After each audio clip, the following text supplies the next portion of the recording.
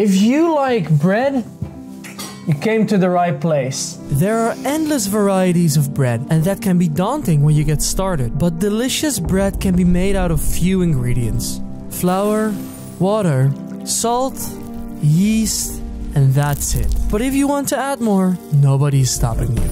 But for this simple recipe, I will share with you my most easiest sandwich loaf bread that takes little ingredients as well. That is different from the store, but oh so delicious and without all the adjectives that they add. Now it looks daunting at first, but trust me and bear with me when I say it's just a few steps that you knead to understand how it goes, and then a bread making god. And you don't need a stand mixer, but it is making your life easier if you have one when we're going to need dough. So grab your apron, your ingredients, and if you have it, your stand mixer, and let's go.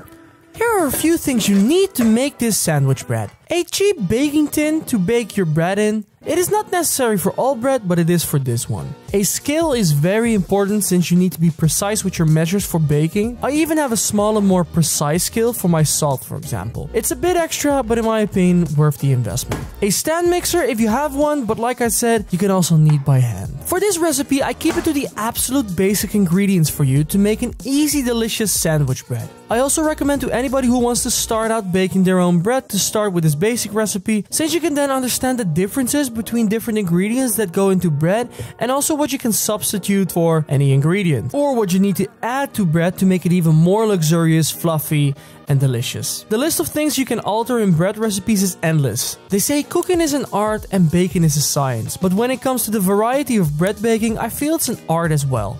Here's a list of ingredients you can add or replace in your recipe with the possible outcome. Now, another thing that will decide how your bread will turn out is the percentage of liquid against the amount of flour you use. We call this baker percentages, and all the ingredients are measured up against the flour. So, for the liquid, this is something referred to as the hydration level. For example, if you have 100 grams of flour and you use 60 milliliters of water, that's a 60% hydration level. And then, on top of the measurement, it's also important what ingredients you use, the quality of them, and what temperature they all have. But don't worry, all these things come with time practice if you want to learn it.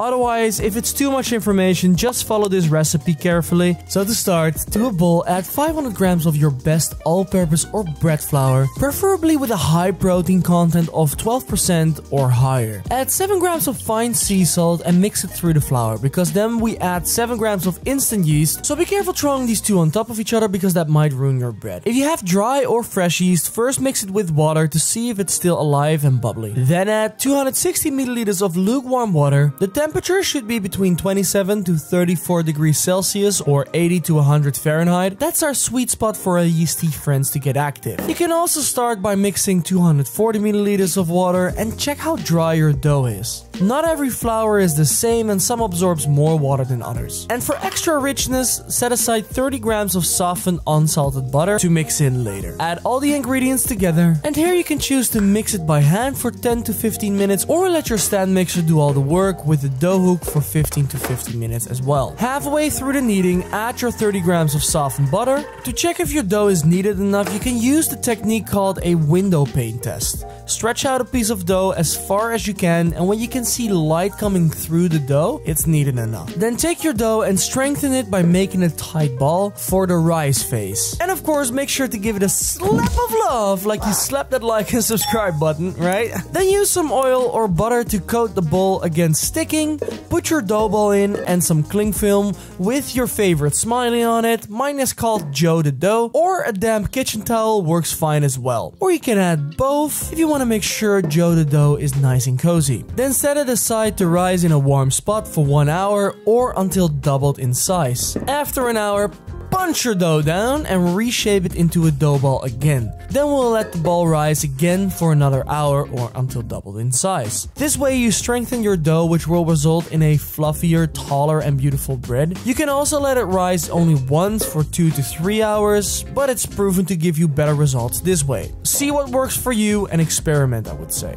In the meantime, butter up your baking tin completely and then take your dough when it has risen, place it on your work surface and press it out flat into a rectangular shape so that the width matches the baking tin. Roll it up tightly and place it into your baking tin. Cover it and let it rise until it doubles in size again. Mine has risen just above the baking tin, but if you have even more patience, it can go even higher than this. Also, to improve your bread's rising strength and make it even taller and fluffier, you can add various ingredients such as enzyme mix, bread improver, and even vitamin C tablets to help strengthen your bread. I suggest searching for these names and adding a teaspoon or so of it to your dough if you want a taller bread. Put the bread in a preheated oven on 220 degrees Celsius or 430 degrees Fahrenheit and spray the bread with some water to create a bit of steam. This will help the bread puff up. Bake it for 40 minutes but turn down the oven to 200 degrees Celsius or 300 degrees Fahrenheit after 20 minutes. When the bread is done, take it out of the tin and it should fall out because you buttered the baking tin, right? Then optionally, but very nice for a pretty gloss, you can smear some butter on top of it. And then congratulations, you've made your first sandwich loaf. Make sure to let it cool completely before you slice into it, otherwise it will ruin the inside. I know it's hard, but then you can enjoy the whole bread however you like. Look at that inside. Beautiful. I made a quick BLT sandwich since I was hungry after all that waiting. So I sliced off two slices of my bread and the rest of the bread I sliced up into slices and stored them into the freezer immediately since this bread only lasts for a few days before it becomes stale. So I would highly suggest to immediately freeze some slices if you don't plan to eat this bread in the coming 3 days. For the BLT I fried up some bacon, sliced and salted some tomatoes, took some iceberg lettuce, and made a quick mustard mayo sauce with all the ingredients listed here.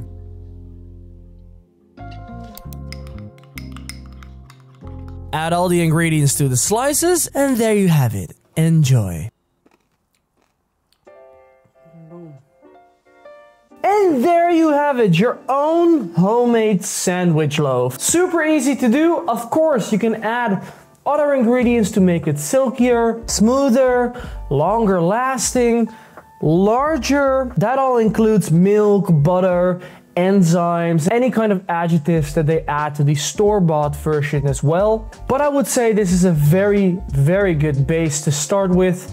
And then from here on on, you can play around with changing the water with milk, adding some more butter, adding some sugar, etc. I'll make a guide on how to make bread where I explain each component and what it does to the bread. So let me know in the comments below if you're interested in such video. But for now, this is a great base recipe to make your own bread. It's cheaper, it's more fun, and it's also way more rewarding when you taste this loaf. A freshly made loaf with bacon, lettuce, tomato. What else can you ask for, right? Mmm. Mmm. Oh, sorry. I needed a moment there. So I would say go ahead and make this bread. See what you think for yourself. It might take a few times of practice to get it down to your liking. And if you're looking for a ciabatta or any other kind of bread recipes, you can watch my next video right here that shows you how to make easy small ciabattas from scratch or go back to basics and make one of my flatbreads.